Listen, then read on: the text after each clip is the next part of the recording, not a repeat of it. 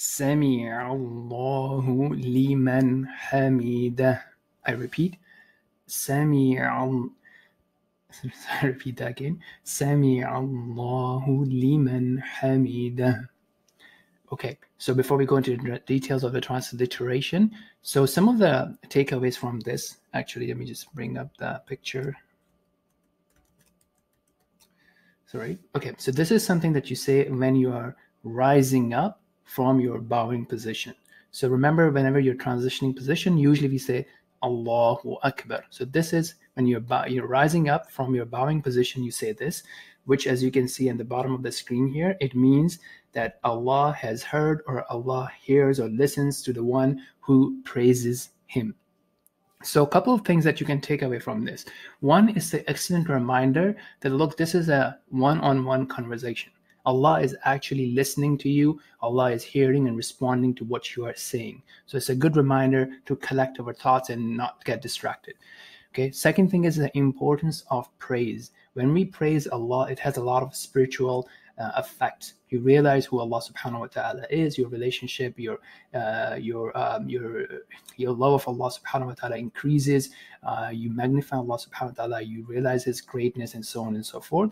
And it also has an impact on your conviction when you make du'a to Allah. So when we say du'a, it means you're asking Allah for something okay and that could be something very simple as you know success in a test or a deal or a car or or a spouse or children whatever it is you know happiness uh, ideas intelligence strength health whatever it is right? Or you know protection from hellfire you know uh, love of allah pleasure of allah you know uh, safety from the punishment of the grave punishment of hellfire retiring in paradise forever so on and so forth so as we make dua to Allah and we praise Allah before the dua, during the dua, it actually helps us increase our conviction and remember who Allah is, what He's able to do, and so on and so forth. And at the same time, also increases uh, the impact, the effect of our dua.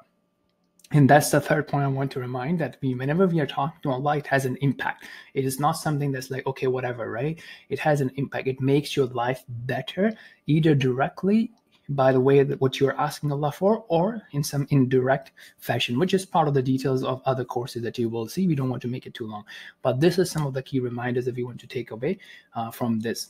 Now, let's uh, understand the details of the pronunciation.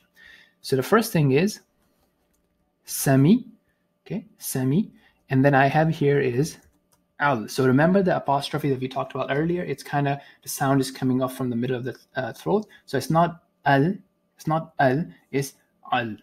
Al, okay, so just having some sort of distinguishing uh, distinguishing uh, characteristics of that uh, without going too much into uh, too worrying too much about it. Okay, sami al, and then I have the capital L for heaviness.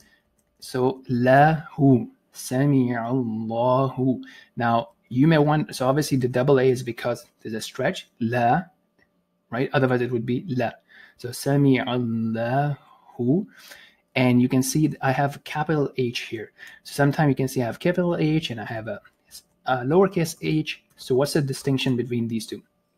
So the capital H, I don't think we have seen this so far in the series, is something that comes from, you know, the bottom part of the throat. So it's like ha, ha, ha. So here it would be who, who. The the lowercase h that we have seen so far that we saw earlier in. Um, subhana. So that's something that you can think of as coming from the middle of the throat. Ha, ha, ha. So you can practice that a bit.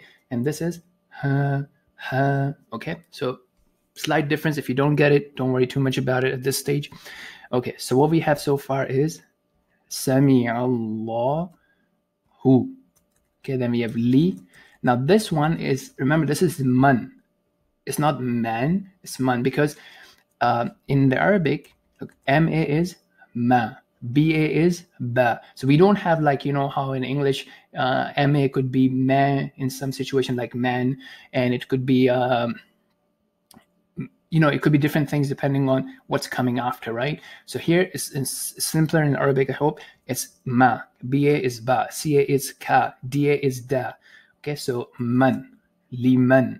Okay, sami Allahu liman and then now we have ha, middle of the throat, hamida.